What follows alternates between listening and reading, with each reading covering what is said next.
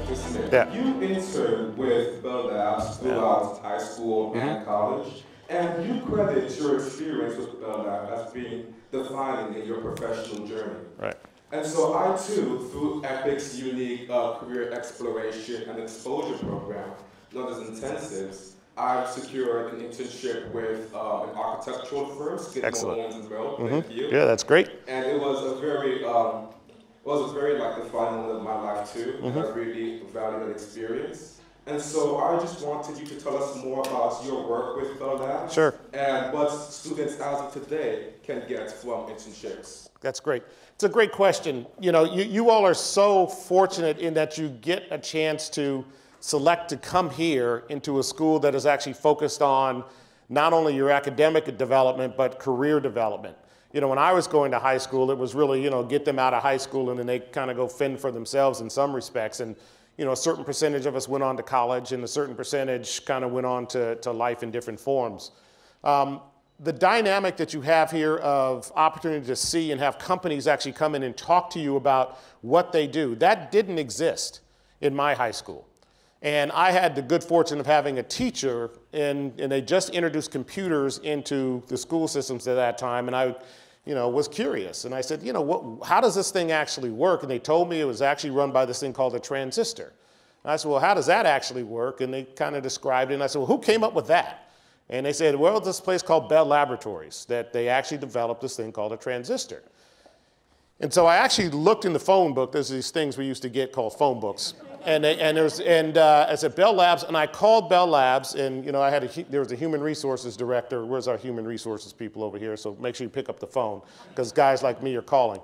Um, and I called and I said, you know, I'd love to get an internship at Bell Labs. Do you, are you hiring interns? And they said, we absolutely are. If you're between your junior and senior year in college, you know, you can apply for an internship. And I said, that's great. I'm a junior in high school. I'm taking AP classes. I'm getting A's in my AP classes. So it's just like being in college. So where do I apply? And the human resources director said, no, you need to apply between your junior and senior year in college. So I actually called her every day for two weeks. She stopped taking the call after the second day. And I left a message. And I called her every Monday for five months. So when I finished my math class, I was taking calculus, I'd go, there's these things called payphones, I'd put a dime in a payphone, and I'd call and leave a message. From February till June, I got a call back in June. And she said, look, a student from MIT didn't show up. We have an extra internship. We've never met you. We're not guaranteeing you anything, but why don't you come and interview? And I had, had a 69 Plymouth Satellite, some of you all will recognize, had $2 and put $2 worth of gas, and I had one suit, didn't look like this one. And I drove down and I got the job and started working at Bell Labs, and it changed my life. It wasn't just what I saw that where technology was going. I saw really the first video phones, the first cell phones. You got to remember, this is back in 1980. Okay, and they were doing things in communications that we're only seeing realized today. So that's kind of point number one. Point number two, you had access to computing power. And even more importantly, I had access to some of the greatest minds on the planet to ask questions of.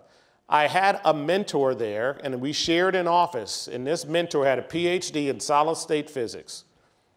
And I'm sharing an office with this person. And as we're having the conversation, you know, I said, well, what's my summer project? He said, well, this is a, you know, an operational amplifier. It's not working in the field in our Merlin systems. Your job is to figure out why it's not working. And he says, now you've got the full resources of Bell Labs. I'll answer any question you want. There's a library down the hall. And so come back when you have a question. And he kind of turned his chair around. And at first I thought that was quite cruel. But what it actually was is quite enlightening for me because it forced me to go ask questions.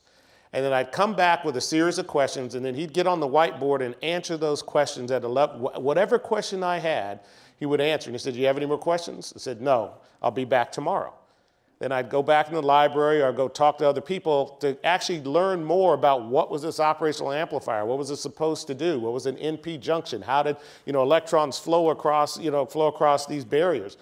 That was a dynamic that taught me one of the most important things in life, what I try to tell my kids, which is discover the joy of figuring things out. There is great joy in solving problems. And there's great joy in solving problems if you figure out how to solve the problem. And that's one of the things that I enjoy most about what I do today is I get a chance to work with some brilliant people, business people, scientists, engineers, technologists, software programmers, HR people, to figure out the most complex problems on the planet and how we're going to solve those for the companies that we, that we, that we invest with. So to me, that's what that all led to. And so I tell my kids, I'm giving them three things. They're not too happy about them some days.